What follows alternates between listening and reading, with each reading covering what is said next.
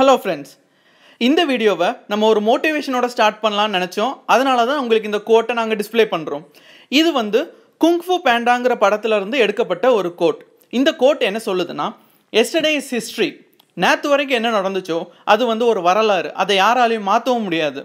Tomorrow is a mystery நாளைக்கு என்ன நடக்குங்கிறத யாராலையும் உறுதியாக சொல்லவும் முடியாது. எவ்வளோ பெரிய கோடீஸ்வரன் இருந்தால் கூட நாளைக்கு என்ன நடக்குங்கிறது யாராலையுமே சொல்ல முடியாது.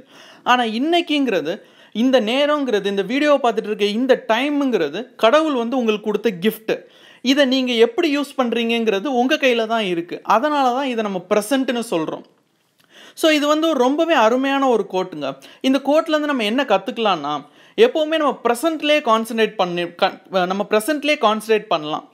பழசை நினச்சி வருத்தப்படுறதோ ஃப்யூச்சரை நினச்சி பயப்படுறதோ இல்லாமல் ப்ரெசண்ட்டை மட்டும் நம்ம கான்சன்ட்ரேட் பண்ணி நம்ம டெய்லி வேலை பார்த்துக்கிட்டே வந்தோம்னா கண்டிப்பாக நம்ம லைஃப் வந்து ஒரு கோலை நோக்கி சந்தோஷமாக போய்கிட்டே தான் அங்கே இருக்கும். இந்த கோட்லேருந்து இன்னொரு விஷயம் என்ன தெரிஞ்சுக்கலாம்னா ப்ரோக்ராமிங்கோ லைஃபோ நம்ம எந்த ஆட்டிடியூடில் அதை பார்க்குறோங்கிறது தான் ரொம்ப இம்பார்ட்டன்ட் நம்ம ஆட்டிடியூட் கரெக்டாக இருந்துச்சுன்னா நம்மளோட ரிசல்ட்ஸும் கண்டிப்பாக கரெக்டாக தாங்க இருக்கும். ஸோ இந்த மோட்டிவேஷனோட இந்த வீடியோவை ஸ்டார்ட் பண்ணலாம். வாங்க ஃப்ரெண்ட்ஸ் இப்போ நான் ஒரு எம்டியான ஒரு விண்டோவை ஓப்பன் பண்ணி வச்சுருக்கேன். இதில் இது வரைக்கும் எந்த கோடும் எழுதலை. வாங்க நம்ம ஒரு எக்கோ ஸ்டேட்மெண்ட் எழுதி ஒரு டிஸ்பிளேயில் அவுட்புட் பண்ணி பார்ப்போம். ஸோ இதுக்குள்ளே நான் வந்து எக்கோ ஸ்டேட்மெண்ட் எழுத போகிறேன் இந்த எக்கோ ஸ்டேட்மெண்ட் எழுதும்போது இப்போ நம்ம எக்கோன்னு டைப் பண்ணுறோம் இல்லையா? இது வந்து கேஸ் சென்சிட்டிவ் கிடையாது. அதாவது நீங்கள் கேபிட்டல் லெட்டர்ஸில் எழுதினாலோ ஸ்மால் லெட்டர்ஸில் எழுதினாலோ இந்த கம்பைலர் வந்து அதை அண்டர்ஸ்டாண்ட் பண்ணும். இப்போ நான் ஈஸியாக ஸ்மால் லெட்டர்ஸில் எழுதிட்டு இந்த ஹெச்ஓனை கேப்ஸில் எழுதினா கூட இது ஒரு ஸ்டாண்டர்டான எக்கோ ஸ்டேட்மெண்ட்டாக தான் ஒர்க் ஆகும். ஸோ அதுக்கப்புறம் நான் ஒரு டபுள் கோட்ஸ் கொடுத்து ஒரு செமிகோலன் கொடுத்து முடிக்க போகிறேன் ஒரு டபுள் கோட்ஸ் கொடுத்து ஒரு செமிகோலன் எல்லா பிஹெச்பி ஸ்டேட்மெண்ட்டும் ஒரு செமிகோலனோட தான் முடியும். அதே மாதிரி எந்த ஸ்ட்ரிங்கு ஸ்ட்ரிங்குங்கிறது குரூப் ஆஃப் கேரக்டர்ஸ் இதை நீங்கள் அவுட்புட்டில் டிஸ்ப்ளே பண்ணி பார்க்கணும்னா அதை டபுள் கோட்ஸ்குள்ளே கொடுத்து தான் நீங்கள் அவுட்புட்டில் டிஸ்ப்ளே பண்ணி பார்க்க முடியும். இங்கே நான் என்ன எழுதுறேன்னா subscribe subscribe subscribe to teach me channel அப்படின்னு நான் டைப் பண்ணுறேங்க இதை தான் நம்ம போன வீடியோவில் பார்த்தோம் எக்கோ ஸ்டேட்மெண்ட்லாம் எப்படி ஒர்க் ஆகுதுங்கிறது. இப்போ நான் இதை ரன் பண்ணி அவுட்புட் பார்ப்போமா? ஸோ எக்கோ ஸ்டேட்மெண்ட் எழுதி ஒரு ஸ்டேட்மெண்ட் கொடுத்துருக்கோம். இப்போ நான் எஃப் நைன் ரன் அமுக்கிறேன். ஸோ இங்கே என்ன வருதுன்னா சப்ஸ்கிரைப் டு டீச் மீ சேனல்னு டிஸ்ப்ளே ஆயிடுச்சு இதுதான் நீங்கள் ஃபஸ்ட்டு ஃபஸ்ட்டு க்ரியேட் பண்ணுற ஒரு ஆப்பாக இருக்கும். இது ரொம்ப சிம்பிள் ஆப் ஓகே இதுக்கப்புறம் நான் உங்களுக்கு என்ன சொல்ல சொல்லித்தர போகிறேன்னா கமெண்ட்ஸ்னால் என்னன்னு சொல்லித்தர போகிறேன் அதாவது கமெண்ட்ஸ்னால் என்னென்னா இப்போ நம்ம ஹியூமன்ஸ் வந்து இந்த கோடை ரீட் பண்ணுவாங்க இல்லையா? ஹியூமன்ஸ்க்கு சில விஷயம் புரியணுங்கிறதுக்காக இந்த ப்ரோக்ராமர்ஸ் வந்து சில விஷயங்களை டைப் பண்ணி வச்சுருப்பாங்க அந்த கோடில் அந்த டைப் பண்ண கமெண்ட்டை வந்து கம்பைலருக்கு புரியாது. கம்பைலர் வந்து அந்த கமெண்ட்டை இக்னோர் பண்ணிடும் அது வந்து அதை ப்ராசஸ் பண்ணவே பண்ணாது. அப்போ எதுக்கு தான் அந்த கமெண்ட் எழுதுறோம்னு பார்த்தீங்கன்னா நம்மள மாதிரி மனுஷங்க அந்த கோடை படிக்கும்போது இந்த லைன் எதுக்கு எழுதியிருக்காங்க அப்படின்னு அண்டர்ஸ்டாண்ட் பண்ணுறதுக்காக தான் இந்த கமெண்ட்ஸ் எழுதுவாங்க. இப்போ நம்ம ஒரு கமெண்ட் ஸ்டேட்மெண்ட் ஒன்று எழுத போகிறோம் இப்போ நம்ம இங்கே என்ன பண்ணுறோன்னா இந்த கமெண்ட் ஸ்டேட்மெண்ட் எப்படி எழுதலான்ங்கிற பார்க்க போகிறோம் ஒரு டபுள் ஸ்லாஷ் போட்டிங்கன்னா அது ஒரு கமெண்ட் ஸ்டேட்மெண்ட் ஸோ இந்த டபுள் ஸ்லாஷ் போட்டுட்டு நான் திஸ் டிஸ்பிளேஸ் டிஸ்பிளேஸ் அவுட்புட் அப்படின்னு நம்ம நமக்கு புரிகிறதுக்காக நான் இங்கே எழுதி ஒரு ஸ்டேட்மெண்ட்டை நான் க்ளோஸ் பண்ணிட்டேன். இதுக்கு பேர் தான் ஒரு சிம்பிளான கமெண்ட். இந்த கமெண்ட்டை இன்னொரு வகையிலையும் கொடுக்கலாம். அது எப்படின்னு பார்த்தோன்னா ஒரு ஸ்லாஷு அதுக்கப்புறம் ஒரு ஸ்டாரு அதுக்கப்புறம் முடிக்கிறது எப்படின்னு பார்த்தா அதே மாதிரி ஒரு ஸ்டாரு ஒரு ஸ்லாஷு இதுக்கு நடுவில் எழுதினாலும் இது வந்து மல்டி லைன் கமெண்ட்டுமோ அதாவது ஃபஸ்ட்டு போட்ட வெறும் டபுள் ஸ்லாஷ் வந்து ஒரு லைனுக்கு மட்டும்தான் கமெண்ட்டை புரியும். ஆனால் இப்போ ரெண்டாவது போட்டது வந்து பல லைனுக்கு நீங்கள் கமெண்ட் எழுதலாம். அதாவது ஒரு பேராகிராஃபியே இந்த ஸ்லாஷு ஸ்டாரு ஸ்டாரு ஸ்லாஷுக்குள்ளே ஒரு பேராகிராஃபியே நீங்கள் கமெண்ட்டாக எழுதலாம். இதுக்கு பேர் தான் மல்டி லைன் கமெண்ட்டுங்கிறோம் ஸோ இதை வந்து நான் இங்கே வந்து மல்டி லைன் கொடுத்து ஒரு ஸ்பேஸ் ஸ்பேஸ் விட்டு கமெண்ட் கமெண்ட்னு கொடுத்துட்றோம் ஓகேயா ஸோ அவ்வளோதாங்க ஃபஸ்ட்டு கொடுக்குற கமெண்ட் டபுள் ஸ்லாஷ் வந்து ஒரு சிங்கிள் லைன் கமெண்ட் அடுத்து கொடுக்குற ஸ்லாஷ் ஸ்டாருங்கிறது ஒரு மல்டி லைன் கமெண்ட் இந்த கமெண்ட் எல்லாமே ஜென்ரலாக எல்லா ப்ரோக்ராமிங் லாங்குவேஜ்லேயும் மோஸ்ட்லி க்ரீன் கலரில் தாங்க தெரியும். அது ஹியூமன்ஸ் அண்டர்ஸ்டாண்ட் பண்ணுறதுக்காக பார்த்த உடனே புரியறதுக்காக இந்த கமெண்ட்ஸ் வந்து க்ரீன் கலரில் இருக்குங்க. இப்போ நம்ம இதை ரன் பண்ணி பார்த்தோம்னா நமக்கு பழைய மாதிரி என்ன அவுட்புட் வந்துச்சோ அதே அவுட்புட் தாங்க வரும். இந்த கம்பைலர் வந்து இந்த கமெண்ட்ஸ் எல்லாத்தையும் இக்னோர் பண்ணிடும் ஒரு வாட்டி ரன் பண்ணி உங்களுக்கு காமிக்கிறேன். ஆக்சுவலி இந்த ப்ரௌசர் வந்து ரிஃப்ரெஷ் ஆகலாம் ஆனால் தியரட்டிக்கலாகவும் ப்ராக்டிக்கலாகவும் அந்த கோட் வந்து சேம் ரிசல்ட் தான் உங்களுக்கு வரும். இந்த கமெண்ட்டை வந்து இக்னோர் பண்ணிடும் இதுக்கு இன்னொரு வாட்டி ட்ரை பண்ணுறேன் ஸோ இந்த ப்ரௌசர் வந்து ரிஃப்ரெஷ் ஆக மாட்டேங்குது. பட் தியரட்டிக்கலாக அது வந்து சேமாக தான் இருக்கும். வேணால் நம்ம ஒரு வாட்டி இன்னொரு வாட்டி காப்பி பண்ணி ட்ரை பண்ணி பார்க்கலாம். நான் இது எல்லாத்தையும் செலக்ட் பண்ணிவிட்டு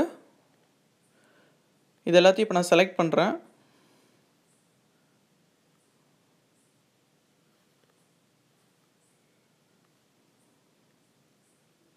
ஓகே நம்ம இதை அப்புறமா ட்ரை பண்ணலாம். நம்ம அதுக்குள்ளேயே இந்த ஒரு வாட்டி இந்த பேஜ் ரிஃப்ரெஷ் பண்ணி நம்ம அடுத்த ப்ரோக்ராமிங் கான்செப்ட்ஸ்க்காக இதை யூஸ் பண்ணிக்கலாம். பட் தியரட்டிக்கலாகவும் ப்ராக்டிக்கலாகவும் இந்த கமெண்ட்ஸை வந்து இந்த கம்பைலர் வந்து இக்னோர் பண்ணிடும் ஸோ நமக்கு அவுட்புட்டில் வந்து அந்த எக்கோவில் என்ன ஸ்டேட்மெண்ட் கொடுத்தோமோ அதுதான் ஜென்ரலாக டிஸ்ப்ளே ஆகும். ஓகே இப்போ நம்ம அடுத்து என்ன பார்க்க போகிறோம்னா வேரியபிள்ஸ் பற்றி பார்க்க போகிறோம் ஜென்ரலாக வேரியபிள்ஸ்னால் என்னடான்னா நம்ம கம்ப்யூட்டர் ஒரு ப்ரோக்ராம் ஒன்று டெவலப் பண்ணும்போது நிறைய டேட்டா வந்து தேவைப்படும். அது ஒரு இன்டீஜர் டேட்டாவாக இருக்கலாம் ஒரு ஸ்ட்ரிங் டேட்டாவாக இருக்கலாம் அது ஒரு நம்பராக இருக்கலாம் ஒரு நேமாக இருக்கலாம். சப்போஸ் இப்போ நீங்கள் ஒரு கேம் விளையாடுறீங்க அந்த கேமில் நீங்கள் யூசர் வந்து உங்கள் நேம் வந்து அஜித்னு வச்சுக்கோங்களேன். அந்த யூசர் வந்து அஜித்னு ஸ்டோர் பண்ணுறதுக்கு ஒரு வேரியபிள் தேவைப்படும். அந்த வேரியபிள் வந்து ஒரு ஸ்ட்ரிங் வேரியபிளாக இருக்கும். அஜித்துங்கிறது ஒரு நேமுங்கிறனால அது வந்து ஒரு ஸ்ட்ரிங் வேரியபிளாக இருக்கும். ஸோ இந்த மாதிரி டேட்டா நம்ம நம்ம இன்புட் கொடுக்குற டேட்டாவை வந்து ஒவ்வொரு வேரியபிள் தாங்க ஸ்டோர் பண்ணி வைக்கும். ஒரு எக்ஸாம்பிளுக்கு இப்போ நான் உங்களுக்கு ஒரு வேரியபிள் போட்டு காட்டுறேனே.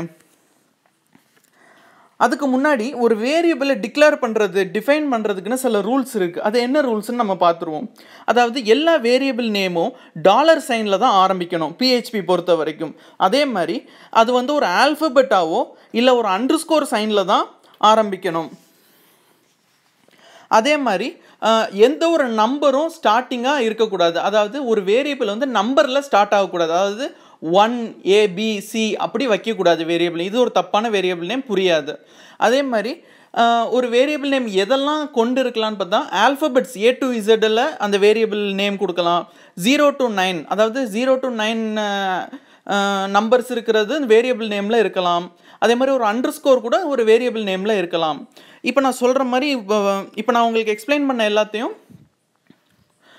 இப்போ நான் உங்களுக்கு ஒரு டைப் பண்ணி காட்டுறேன். எந்த மாதிரி வேரியபிள் நேம்ஸ் வைக்கணுங்கிறத டைப் பண்ணி காட்டுறேன். அதே மாதிரி வேரியபிள்ஸ் வந்து கேஸ் சென்சிட்டிவ் அதாவது அதையும் நான் உங்களுக்கு இப்போ உங்களுக்கு எக்ஸ்பிளைன் பண்ணி காட்டுறேன். இப்போ எந்த மாதிரி நம்ம வேரியபிள் நேம்ஸ் வைக்கலாம்னா எதெல்லாம் ஸ்டாண்டர்ட் ப்ராக்டிசஸ் எப்படிலாம் வைக்கணும்னு மட்டும் நான் காட்டுறேன். ஸோ இப்போ நம்ம வந்து இது வந்து ஒரு வேலிடான வேரியபிள் நேம் அதுக்கப்புறம் எப்படி வைக்கலாம்னா ஒரு ஏழு அதாவது ஒரு டாலர் எல்லாமே டாலரில் தான் ஸ்டார்ட் ஆகும். டாலரில் ஆல் அப்படின்னு வைக்கலாம். இல்லைனா ஒரு டாலர் டாலருக்கு அப்புறம் ஒரு அண்டர் ஸ்கோர் ஆல்னு வைக்கலாம். அதுக்கப்புறம் பார்த்தீங்கன்னா இப்போ இதில் பார்த்தீங்கன்னா ஆல் ஜீரோ நைன்னு கூட வைக்கலாம்.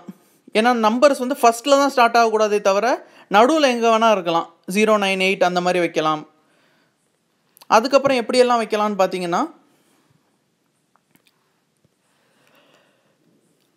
K sensitive. இந்த ஸ்மாலில் இருக்க ஆளும் இப்போ நம்ம கொடுக்க போகிற ஆளும் வேறு வேறு வேறு வேறு வேரியபிள்ஸ் அதாவது வேறு வேறு வேரியபிள்ஸ் இது இந்த ஸ்மாலில் கொடுத்தா கூட இதெல்லாம் வேறு வேறு வேரியபிள்ஸ் அதாவது இந்த ஸ்மாலில் இருக்க ஆளும் இந்த கேப்ஸில் இருக்க ஆளும் கண்டிப்பாக வேறு வேறு வேரியபிள்ஸ் ஸோ இது ரெண்டும் ஒன்று கிடையாது.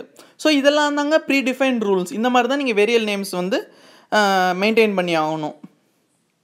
ஓகே இப்போ நம்ம அடுத்து ஒரு வேரியபிள் இல்லை நம்ம யூஸ் பண்ணி அதை டிஸ்பிளே பண்ணி அவுட்புட் எடுத்து பார்க்கலாம். ஓகே இப்போ நான் டாலர் டெக்ஸ்ட்னு ஒரு வேரியபிள் வச்சுருக்கேன் இல்லையா? அது இஸ் ஈக்குவல் டு நான் வந்து ஒரு குரூப் ஆஃப் கேரக்டர்ஸ் அதாவது ஒரு ஸ்ட்ரிங்கை வந்து நான் டிஃபைன் பண்ண போகிறேன் அப்போ ஒரு டபுள் கோட்ஸ் போட்டுக்கிட்டேன் ஒரு செமிகோலன் ஒன்று போட்டுக்கிட்டேன். இப்போ இதில் வந்து ஒரு நேம் எடுத்துக்கலாம். ஃபார் எக்ஸாம்பிள் தருண் அப்படின்னு ஒரு நேம் எடுத்துக்கலாம். ஸோ இப்போ தருண்கிறதா நம்ம யூசர் தருண்கிறவர் தான் நம்ம ஆப்புக்குள்ளே லாகின் பண்ணி இருக்கார். ஸோ தருணை வந்து நம்ம டெக்ஸ்ட்டு அப்படிங்கிற ஒரு வேரியபிளில் வந்து இப்போ நம்ம வச்சுக்கிட்டோம். ஸோ இந்த தருணை நம்ம எப்படிலாம் இப்போ ப்ராசஸ் பண்ண போகிறோம்னு பார்க்கலாம். ஸோ இந்த தருணை வந்து ஐஎம் தருண்னு அவுட்புட்டில் டிஸ்பிளே பண்ண போகிறோம் அதை எப்படி பண்ணலான்னு பார்க்கலாம். ரெண்டு வகையாக டிஸ்பிளே பண்ணலாம். ஒவ்வொரு மெத்தடாக நம்ம பார்க்கலாம். ஸோ இப்போ நான் வந்து எக்கோன் அடிக்கிறேன். எக்கோன் அடிச்சுட்டு ஒரு டப் ஒரு டபுள் கோட்ஸ் கொடுத்துட்டு ஒரு செமிகோல்னு வச்சுருக்கேன். இப்போ இந்த எக்கோவில் வந்து இப்போ நான் ஐ ஆம் அப்படின்னு அடிக்கிறேன். ஐ ஆம் யூசர் அப்படின்னு கொடுத்துட்டு இதை வந்து நம்ம கன்கேட்டினேஷன் ஆப்ரேட்டர்னு சொல்லுவோம். அதாவது ஸ்ட்ரிங்கு ரெண்டுத்தையும் ஜாயின் பண்ணுறதுக்கான ஒரு ஆப்ரேட்டர் அந்த கன்கேட்டினேஷன் ஆப்ரேட்டர் வந்து இங்கே டாட் டாட்னு போட்டுட்டு நம்ம இங்கே டாலர் டெக்ஸ்ட்டு நம்ம வேரியபிள் இருக்குல்லையா டாலர் டெக்ஸ்ட்டு அதை நம்ம கொடுத்து அவுட்புட் எடுத்து பார்த்தோம்னா இப்போ என்ன வரும்? ஐ ஆம் யூசர் தருண் அப்படின்னு வரும். ஸோ அந்த தருங்கிற டேட்டாவை இந்த டாலர் டெக்ஸ்ட்டுங்கிற வேரியபிளில் ஸ்டோர் பண்ணி அந்த டாலர் டெக்ஸ்ட் மூலமாக நம்ம அவுட்புட்டை வந்து எடுக்கிறோம். ஸோ இதை நம்ம ரன் பண்ணி பார்க்கலாமா?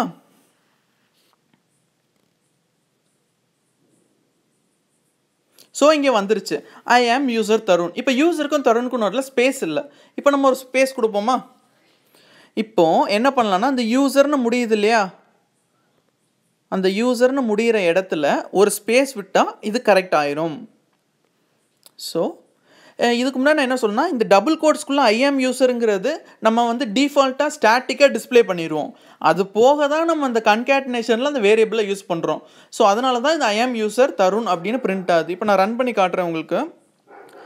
ஐஎம் யூசர் தருங்கிறது பெர்ஃபெக்டாக பிரிண்ட் ஆயிடுச்சு இதை இன்னொரு வகையிலையும் பிரிண்ட் பண்ணலாம். எப்படின்னா இந்த கன்கேட்னேட் பண்ணாமல் இந்த டாலர் டெக்ஸ்ட்டை டபுள் கோட்ஸ்க்குள்ளே கொடுத்தாலும் அந்த சேம் ரிசல்ட் தான் நமக்கு டிஸ்ப்ளே ஆகும். அதை ட்ரை பண்ணி பார்க்கலாமா? ஓகே இப்போது நான் இங்கே வந்துட்டு இந்த டாலர் டெக்ஸ்ட்டுங்கிறத ரிமூவ் பண்ணிடுறேன். கன்கேட்னேஷன் ஆப்ரேட்டிவ் ரிமூவ் பண்ணிடுறேன். இந்த யூசருக்கு அப்புறம் ஒரு ஸ்பேஸ் இருக்கு இல்லையா? அதுக்கப்புறம் நான் டைரெக்டாகவே இந்த டாலர் சைன் கொடுத்து நம்ம வேரியபிள் நேமான டாலர் டெக்ஸ்ட்டை நம்ம வந்து போட்டு பார்த்தா அவுட்புட் என்ன வருதுன்னு பார்க்கலாமா? ஸோ இப்போ நான் வந்து ரன் கொடுக்க போகிறேன் அதாவது இந்த வேரியபிளே நான் டபுள் கோட்ஸ்குள்ளே தான் கொடுத்துருக்கேன். ஸோ இப்போ நாங்கள் ரன் கொடுத்தேன்னா ஆக்சுவலி ஒரு எரர் காட்டுது. ஒரு நிமிஷம் வெயிட் பண்ணுங்கள் நம்ம ஒரு நிமிஷம் இதை ரன் பண்ணி பார்த்துருவோம்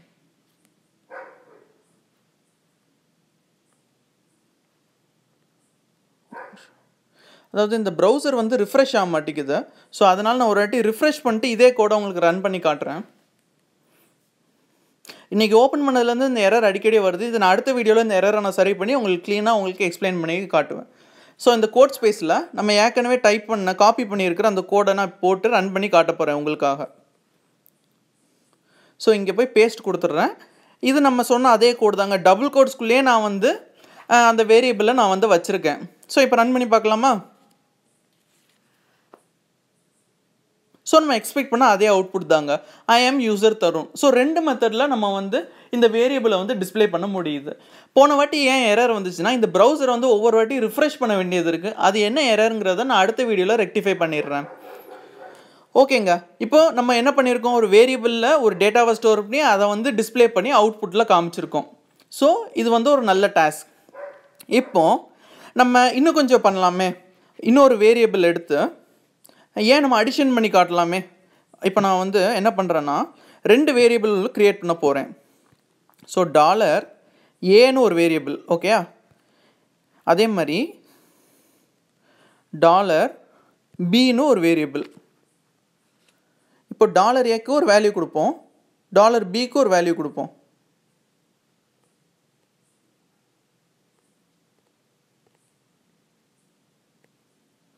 ஒரு நிமிஷம். அந்த பாயிண்ட் வர மாட்டேங்குது?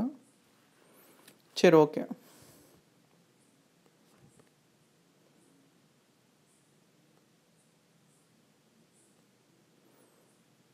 ஒரு நிமிஷம். அந்த பாயிண்ட் வந்து ஒர்க் ஆக மாட்டேங்குது. அது என்னென்னு பார்த்துட்ருக்கேன். ஸோ சரி நான் இதை கமெண்ட் பண்ணுறேன் அந்த பாயிண்ட் ஒர்க் ஆகாததுனால இதை நான் கொஞ்சம் கமெண்ட் பண்ணிக்கிறேன். நம்ம ஃபஸ்ட்லேருந்தே ஒரு இதை க்ரியேட் பண்ணி பார்ப்போம். ஸோ இங்கே ஓகே ஃபஸ்ட்லேருந்து கொஞ்சம் ட்ரை பண்ணி ஓகே ஓகே இப்போ வந்து நம்ம ஒரு ரெண்டு வேரியபிள் க்ரியேட் பண்ணுறோம் dollar A is equal to is equal to ஒரு எக்ஸாம்பிளுக்கு நான் இப்போ வந்து ஒரு ஃபைவ் பாயிண்ட் ஃபைவ்னு வைக்கிறேனே. அதே மாதிரி நான் இங்கே வந்து ஒரு இன்னொரு வேரியபிள் ஒன்று க்ரியேட் பண்ணுறேன் அதுக்கு பேர் வந்து dollar B is equal to இன்னொரு ஃபைவ் பாயிண்ட் ஃபைவ் ஒன்று வைக்கலாம். ஃபைவ் பாயிண்ட் ஃபைவ் வச்சு செமிகோலன் கொடுக்குறேன். இப்போது நம்ம டாலர் சின்னு ஒரு வேரியபிள் எடுக்கிறோம்.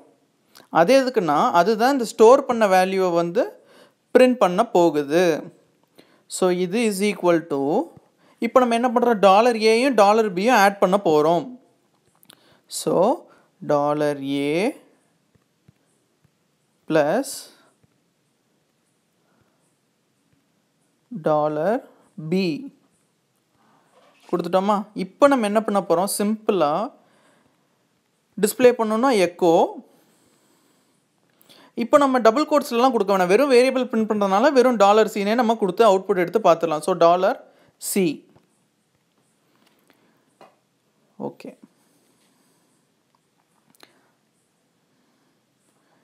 இப்போ நம்ம அவுட்புட் எடுத்து பார்த்தா எப்படி வரும்னா ஐ எம் யூசர் தருண் அந்த டெக்ஸ்ட்டுக்கு அப்புறமா ஒரு நம்பர் ஒன்று பிரிண்ட் ஆகும். அது என்ன நம்பர்னு பார்த்துடலாம். அது என்னவா இருக்கும்? Five point five plus five point five வந்து லெவனாக பிரிண்ட் பண்ணும்.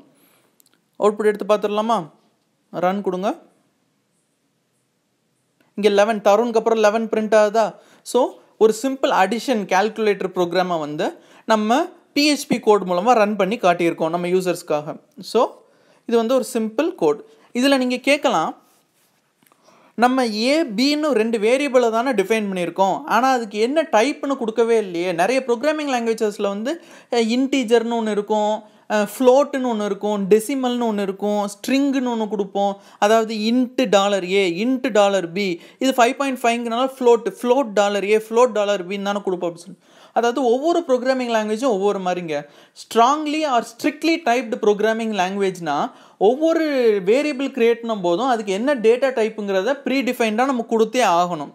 ஆனால் பிஹெச்பிங்கிறது ஒரு லூஸ்லி டைப்டு ப்ரோக்ராமிங் லாங்குவேஜ் அப்படின்னா என்ன அர்த்தம்னா நம்ம எல்லா வேரியபிள்ஸ் எல்லா டைப் ஆஃப் வேரியபிள்ஸ் அதாவது ஒரு இன்ட்டாக இருந்தாலும் ஒரு ஸ்ட்ரிங்காக இருந்தாலும் ஒரு ஃப்ளோட்டாக இருந்தாலும் ஒரு டெசிமலாக இருந்தாலும் வெறும் டாலர் ஏ வெறும் டாலர் பின்னு கொடுத்துட்டு அது ஃப்ளோட்னா ஃபைவ் பாயிண்ட் ஃபைவ் இன்ட்டுனா வெறும் ஃபைவ் ஸ்ட்ரிங்குனா டபுள் கோட்ஸ்க்குள்ளே விஜய் கிரண் அப்படின்னு கொடுத்துட்டு செமிகோலன் வச்சா மட்டும் போதுங்க. இந்த பிஹெச்பி கம்பைலர் வந்து அதுக்கே தெரியும். நம்ம வந்து ஃபைவ் பாயிண்ட் ஃபைவ்னு கொடுத்தா அதே அதை ஃப்ளோட்டுன்னு எடுத்துக்கிறோம். வெறும் ஃபைன் கொடுத்தா அதே அதை இன்ட்டுன்னு எடுத்துக்கணும் நம்ம டிஃபைன் பண்ணோம். இந்த வேரியபிளுக்கு இந்த டேட்டா டைப்புன்னு டிஃபைன் பண்ணுங்கிற அவசியம் கிடையாது. அதனால தான் நம்ம பிஹெச்பியை வந்து லூஸ்லி டைப்டு ப்ரோக்ராமிங் லாங்குவேஜ்னு நம்ம சொல்கிறோம் ஸோ இந்த வீடியோவில் இந்த கான்செப்ட்ஸ் வந்து உங்களுக்கு அண்டர்ஸ்டாண்ட் ஆச்சுன்னா கமெண்ட்ஸில் சொல்லுங்கள் யூஸ்ஃபுல்லாக இருந்துச்சுன்னா கமெண்ட்ஸில் சொல்லுங்கள் இதை பற்றி தான் நான் இந்த வீடியோவில் உங்களுக்கு சொல்லணும்னு நினச்சேன். நம்ம அடுத்த வீடியோவில் இந்த வேரியபிள்ஸோட கொஞ்சம் அட்வான்ஸ்டு கான்செப்ட்ஸ் நம்ம பார்க்க போகிறோம் அதாவது வேரியபிள் ஸ்கோப்ஸ்னால் என்ன? ஒரு வேரியபிளோட லைஃப் வந்து ஃபங்க்ஷனுக்குள்ளே இருக்குமா மெத்தடுக்குள்ளே இருக்குமா இல்லை அந்த ஃபுல் ப்ரோக்ராமுக்கே இருக்குமாங்கிறது தான் நம்ம வேரியபிள் ஸ்கோப்ஸ்னு சொல்கிறோம் இந்த வேரியபிள் ஸ்கோப்ஸ்ங்கிற டாபிக் வந்து கொஞ்சம் முக்கியமான டாபிக் அதை நம்ம தனியாக ஒரு வீடியோவில் நெக்ஸ்ட் வீடியோவில் நம்ம பார்ப்போம். அவ்வளோதான் ஃப்ரெண்ட்ஸ் இந்த வீடியோ உங்களுக்கு பிடிச்சிருந்துச்சுன்னா உங்கள் நண்பர்களுக்கு ஷேர் பண்ணுங்கள் அடுத்தடுத்த வீடியோக்கள் உங்களுக்கு உடனே உடனே வரணும்னு நினச்சிங்கன்னா இந்த டீச் மீங்கிற சேனலுக்கு நீங்கள் சப்ஸ்கிரைப் பண்ணி நோட்டிஃபிகேஷன் பெல் ஐக்கானையும் ப்ரெஸ் பண்ணிக்கோங்க. அடுத்தடுத்த வீடியோஸ் வந்து உங்களுக்கு உடனுக்குடன் வந்துக்கிட்டே இருக்கும். நன்றி. நான் கூடிய விரைவில் உங்களை அடுத்த வீடியோவில் சந்திக்கிறேன்.